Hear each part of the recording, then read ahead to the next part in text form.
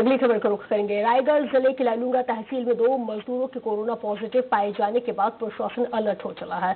लालूँगा के तोलमा और सोनाजोरी गाँव को कंटेनमेंट जोन बना दिया गया है और चारों ओर से सील कर दिया गया। वहीं दोनों श्रमिकों को इलाज के लिए रायगढ़ जिला मुख्यालय के मेडिकल कॉलेज से संबंधित कोविड 19 अस्पताल में भर्ती किया गया है।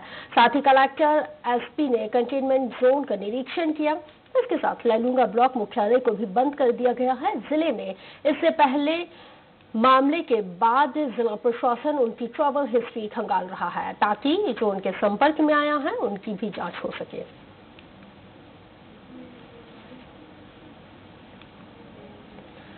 छत्तीसगढ़ में प्रवासी मजदूरों की वापसी के